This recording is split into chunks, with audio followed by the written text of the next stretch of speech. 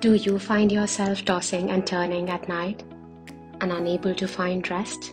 Struggling to fall asleep can be incredibly frustrating, but there's a simple technique that can help. So, for this practice, you can sit comfortably and close your earlobes with the thumb, closing your eyes and pressing the forearm, the middle finger gently on your eyes, the ring finger around your nostrils without blocking them, and the little finger on your upper lip. You're going to inhale deeply through the nose and exhale out through the nostrils like a humming bee, like so. So we inhale. Mm.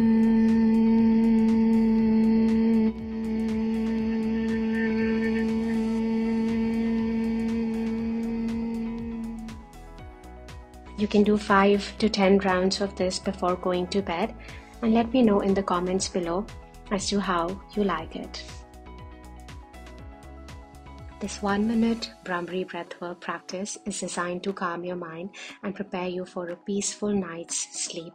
Follow along with me and let's transform our sleepless nights into restful ones.